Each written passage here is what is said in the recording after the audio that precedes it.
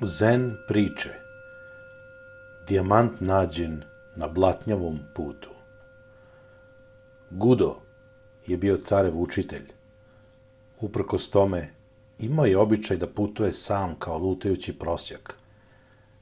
Jednom je, putujući u Edo, kulturni i politički centar šogunata, naišao na malo selo po imenu Takenaka.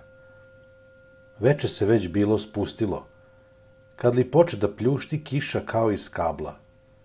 Gudo je bio mokar do gole kože. Njegove slamnate sandale skroz su se raspale. U prozoru seoske kuće, na ulazu u selo, primetio je nekoliko pari takvih sandala i rešio da kupi sebi jedne suve.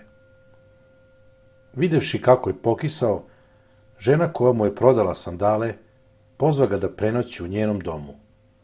Gudo je sa zahvalnošću prihvatio. Ušao je i pred porodičnim oltarom izgovorio neku sutru. Potom ga je žena predstavila svoj majci i deci. Primetivši da je čitava porodica nešto potištena, Gudo upita šta nije u redu. Moj muž je kockar i pijenica, rekla je domaćica. Kada dobija na kocki, onda pije i ponaša se osorno. Kada gubi, pozajmljuje novac od drugih. Ponekad, kad se do besvesti napije, uopšte ne dođe kući. Šta da radim? Ja ću mu pomoći, reče Gudo. Evo vam nešto novca. Kupite mi za to galon dobrog vina i nešto lepo za jelo. Onda možete da počinete. Ja ću da ostanem budan i meditiram pred oltarom.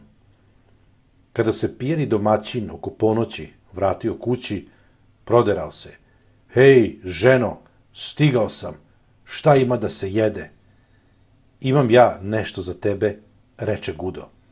Uhvatio me pljusak na putu i tvoja žena bila tako ljubazna da me pozove na konak u tvojoj kući. Zauzvrat, kupio sam malo vina i ribe. Posluži se. Čovek je bio oduševljen. Gotovo najskap popio je čitav galon vina i usnuši skljokao se na pod. Gudo je ostao da sedi pored njega, meditirajući. Ujutru, kad se probudio, kući domaćin se nije sećao ničega od prethodne večeri. Ko si ti? Odakle dolaziš? Pitao je Gudoa, koji je još uvek meditirao. Ja sam Gudo iz Kjota i na putu sam za Edo, odvratio mu je zen učitelj. Čovek se postideo. Stao je da se nadugačko izvinjava učitelju svoga cara. Gudo se osmehnuo. Sve u ovom životu je nestalno, objasni. Život je vrlo kratak.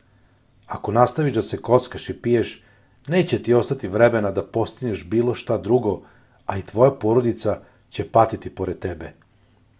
Čovek kao da se probudio iz dugog sna. U pravu si, složi se.